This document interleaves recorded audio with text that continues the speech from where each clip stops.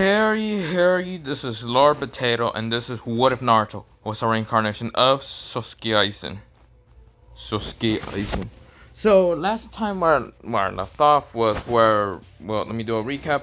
Naruto, he played dumb for about, well, eight years. Of course, at four years old, he, uh, he did help Hinata just defeat the bullies pretty easily. Naruto has trained for like eight years in total when he turns 12 and all that. He ha- does get all the like power and fragments and memories of his previous life being Sosuke and how the person that managed to defeat him was Ichigo, sort of. Well, yeah, Ichigo and a bunch of Soul Reapers and all that. But in this one, this world, they don't really have Soul Reapers. So, of course, Naruto would be like, this is a perfect world to become a god.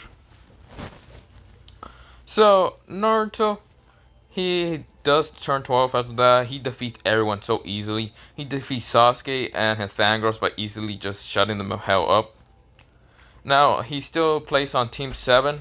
And of course, they did a C rank mission. Naruto breaks the sword of Zabuza so easily and destroys Zabuza was about to kill Haku, but then just let him go. And then Naruto went against Gato and his man, and an S-rank ninja named uh, Kakuzu. I don't know if he had an name, but yeah, Kakuzu. So the undead. Naruto easily defeated Kakuzu and also killed Gato. Naruto's place as a B rank ninja, not really high enough. Naruto said he doesn't care that much. So I did mention that Naruto has just went to his house. No, let me now continue from there. Naruto is now called into the office for their actual another C rank mission. Since Hiruzen did see the power of Naruto firsthand defeating an S rank ninja, he decides to put Naruto in another C rank ninja uh, C rank mission. Now Naruto goes to Okay, sorry, I came back. Um, worst time for uh someone to go live stream when in the middle of recording and thinking, which should I do first? Record and finish this like what if? I mean, what this part of the what if, or go watch a live stream. And I actually decided to go finish this uh, record and all that. So yeah, so let me go into Sosuke Aizen, or well, yeah, Naruto slash Sosuke Aizen. Now, of course, he's called to the meeting of a C rank mission. So, the C rank mission is uh, Kakashi telling them to go watch a movie. Naruto ignores the movie and doesn't really care about the movie. He doesn't care about the mission at all. He just doesn't care about anything. What he does instead is just walk around the uh, He walks around the town, of course. Uh, Kakashi is just doing something else. Sasuke and Sasuke watch the movie and all that. Naruto gets back to the, um... Well, he doesn't actually go around the village. Well, he does, but he disappears. He disappears back into Hueco Mundo. He knows how to get into Hueco Mundo and out of Hueco Mundo. Because he has all his fragment memories. So he goes into Hueco Mundo and sees that there are still a lot of hollows around. And Aizen, well, Naruto slash Aizen, is now just thinking, I should probably build up my army. Well, I'll do that. He then snaps his fingers and a bunch of like hollows come, even the Grande Mundos, or I mean Grandes like come, and they just look at Naruto, who is Aizen. And Aizen just says, Hello there, Hollows. You probably don't even miss me that much. Well, I got destroyed by Hollow Ichi by Ichigo. So yeah. I just came here to see if you people want to become stronger. Some some of the hollows said yes. Some of them are still savage creatures, and yeah, either way. Naruto wiped them out. Wiped out the not wiped out the savage creatures and all, but also picked some of them to become the new spotters. Well, not new spotters, the new elites of his army and all that. The spotters, he's still kind of choosing. Either he wants to make them he wants to bring back the older spotters or make new spotters. Then Naruto says, I will think about that later. So Naruto goes back into the Naruto world. And Naruto, he is just walking around. Of course, the movie ended and Naruto goes back to where Sasuke and Sakura at. Sasuke wasn't like showing blah blah blah interest in the movie or anything. Well, he's interesting, but he's not that interesting. Now, Sasuke Sasuke's the one just being annoying, and Naruto says, Shut up already, I'm trying to think. And Sasuke shuts up. Now, of course, a whole, uh, the whole thing with like the horses and all that comes and all that. But Sasuke and Sasuke reacts. Naruto doesn't care. He's just walking behind all that. Now, Kakashi managed to manage to come after Sasuke, and Sasuke managed to defeat all the people and all that. Naruto did not want to go towards where Sasuke and Sasuke went to defeat them all. Naruto saw, well, he was just walking around, saw this horse and this like female that was like looking at the water and all that. And Naruto was right behind her, like sort of walking towards her. And of course, you can't really hear anything from Naruto. Like Naruto is so quiet, like he's he can just walk and just quiet. Second assassin. Naruto sends, uh, well, let me say that again. Says, hello there. Are you okay? You look sort of saddened, I guess. And the actor says, who are you? Are you someone to try to take me back towards the directors and blah blah blah? Mm, Naruto says, I don't think so. I don't know about what my mission is. My sensei is a lazy bastard, so he's always late and everything, and doesn't tell us what mission it is. So it's probably not. The mission's probably not even to actually take you anything. I'm just wondering, why are you so sort of sad looking? And she says, none of your concern. And then Aizen says, okay, I can care less. Naruto then just says, hmm, yeah, I care less. Like, now, Naruto just, like, instead of walking closer to her, he, like, goes back and just goes to the village. He sees the horse, and Naruto says, interesting horse there you have there. It seems like the thing where like those people were chasing after you, and my team has decided to defeat them for no reason. I know that you're only an actress with the whole movie thing of blah blah blah. I can care less. Then the actress just noticed, and Naruto can care less about anything. So the actress decides to follow Naruto. Naruto saying, Why are you following me? The actress says, You're not like any other normal person which they asked me either about an autograph or something because how I'm an actress, someone like in the movies and all that. Do you know anything what like actresses and actors do for the movies and all that? Naruto says, yeah, be, hmm, how should I say, all fakes. There's nothing, nothing real about it. A ninja has more realistic than that. We steal, we kill, we murder, and all that. You're talking to a shinobi, okay? Someone that already defeated an S-rank ninja. Now, of course, Koyuki doesn't know what an S-rank ninja is, and says you probably don't know what that is. Whatever. Why are you following me anyway? Koyuki says that I'm just following you because I'm surprised that you actually don't care about whatever.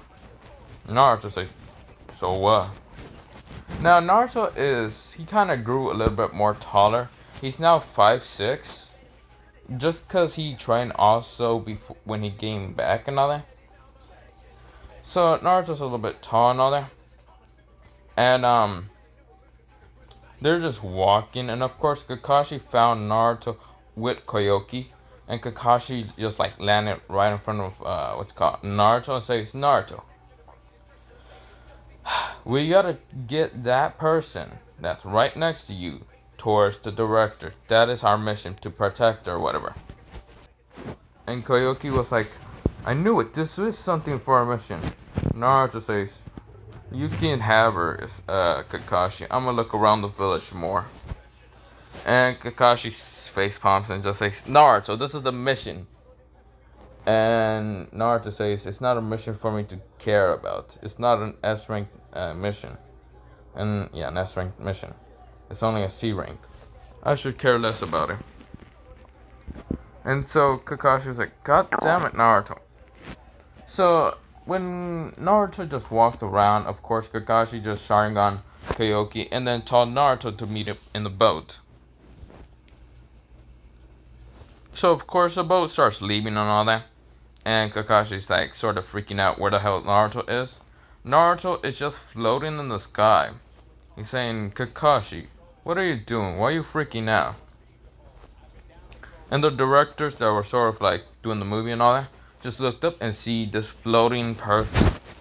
And Kakashi saying, You can fly? Naruto says, Well, of course, yes. What, you can't? Use chakra to try to jump. And Kakashi says, That's bullshit. Chakra won't even let you fly that much.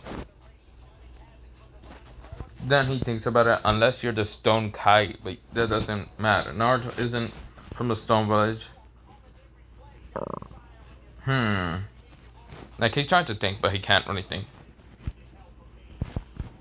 Now, Naruto, he didn't care less, so he just walking away. Well, I mean, he went back and then just said, I would stay, uh, what to call, awoke to actually see anything will happen.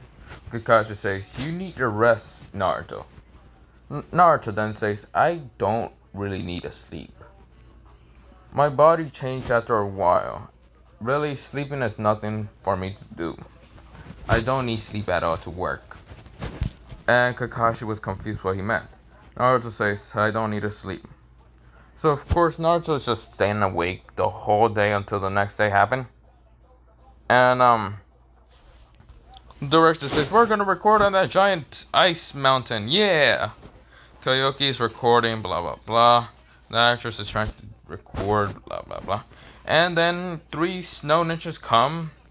The big guy like tries to fight against what's it called, Naruto and all that. But also the pink hair and Kakashi taking on the leader. Like Naruto looks at the big guy and says, You're none of my concern.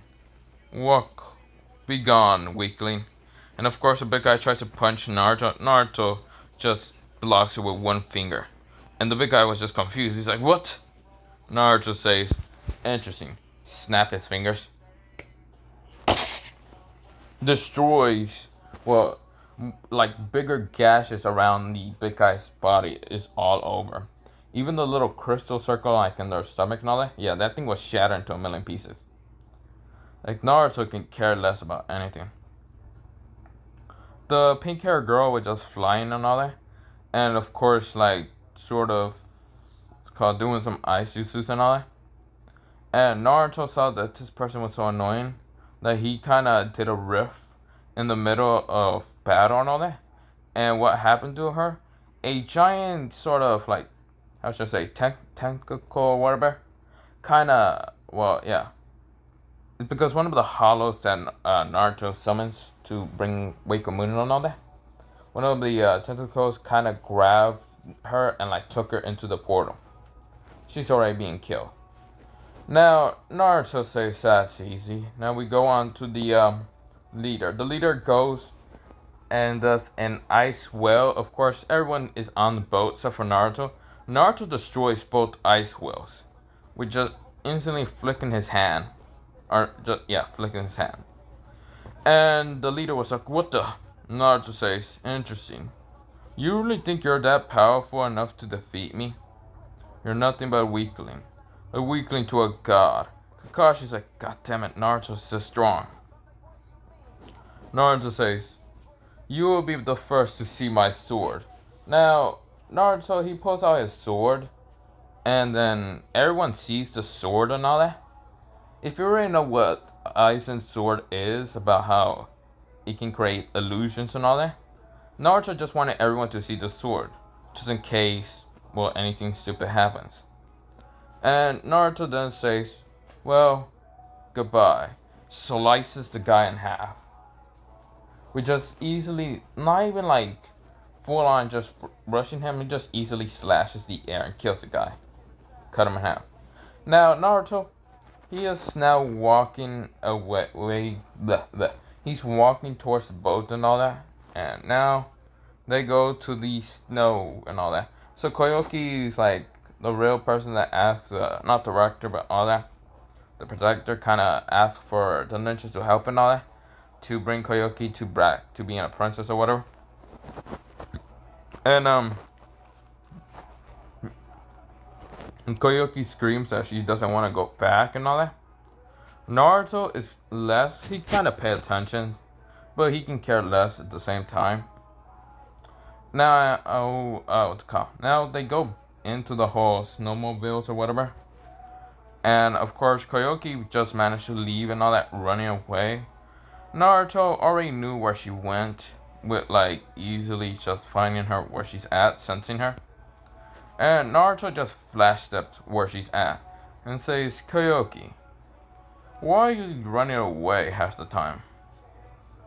And Koyuki said, I'm running away because I don't want to go. I want to leave. I don't want to do this. Naruto says, It's just such a shame for you to just run away from something that your father wanted you to do or whatever. And Koyuki screams, You don't know anything about my father. Naruto says what Aizen said. Of course I don't know anything about your father. Do you think I would have known? I'm not the reincarnation of him. So I'm just saying, go back. I want to finish my mission already. So, yeah, they go back. Koyuki doesn't want to go back, but Naruto's just saying, this is stupid. Like he had to carry her and all that. Aizen doesn't want to carry anyone. Like he can care less. Of course, Naruto hears a boat, like well not boat, a train coming, and Naruto just flashes step into the front of the uh, thing, and he just walking still. A train did stop in the front of where Naruto's at, but Naruto already knew this was gonna happen, and well, Koyuki's uncle said, "Oh, Koyuki, Give me that crystal, that hollow crystal, whatever thing. Hoto crystal, whatever. And Koyuki says, no. And Naruto says, interesting. What's with the train?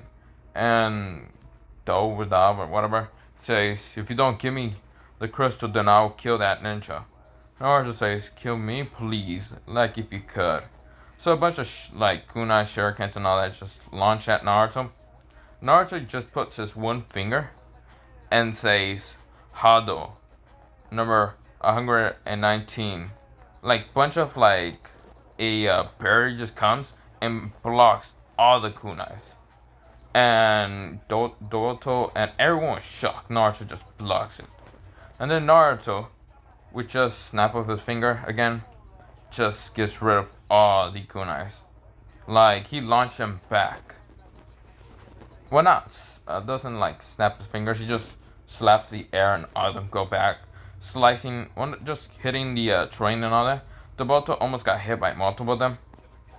And Naruto says, interesting. This train is still, well, how should I say, intact. Hmm. I got this. Naruto looks in the sky and says, Hueco Mundo, Grandes. So multiple Grandes kind of come out and grabs the train, just throwing them each around and all that. The one that Doboto was on, he had to jump off the train before he got launched into somewhere. And Doboto was like, what the, who the hell are you, brat? Naruto walks forward to, uh, towards him. Of course, Doboto, like, takes off with, like, black cloak and all that, and shows his, like, power gear or whatever.